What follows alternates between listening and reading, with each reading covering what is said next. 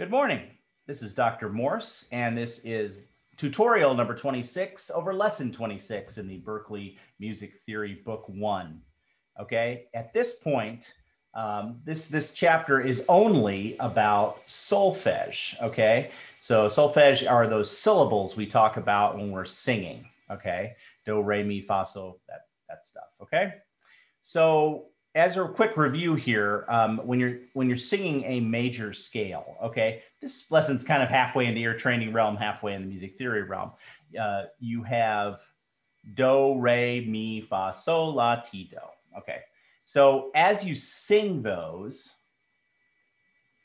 as you sing those, uh, you're going to sing them different, okay? And some of them have different pronunciations. So when you're singing uh, a natural minor. Okay, we sang A major. I didn't sing it, I chanted it.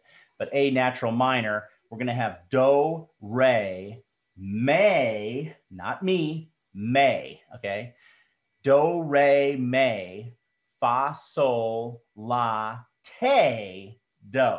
Okay, so instead of Ti, the seventh scale degree, which is a leading tone, it's going to be Te, which later on, much later, we're going to be calling a subtonic. Okay um, the do, re, me, fa, sol, la, te, do.